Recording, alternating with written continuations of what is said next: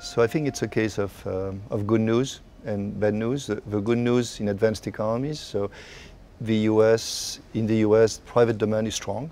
Uh, so unless there are fiscal accidents, uh, then uh, the recovery should continue. Japan is still doing well, uh, and Europe, the good news is uh, Europe seems to have started growth again.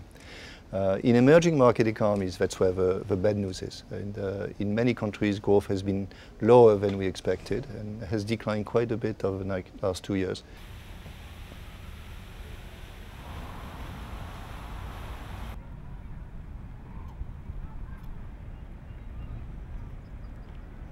It's only going to happen if the US recovery becomes stronger and then the Fed feels that it has to increase interest rates. So, so from the point of view of the rest of the world, say emerging markets, there are two effects, right?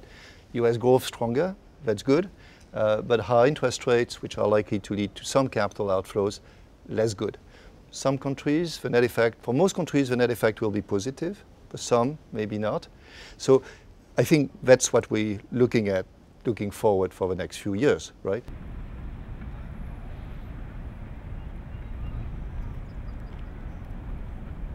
In the core, uh, I think growth has started, but two things have to happen. One for the short run, which is clarification of the bank's balance sheet. Now that's in process, but it really has to happen. The other is for the medium run, structural reforms, so that growth is higher.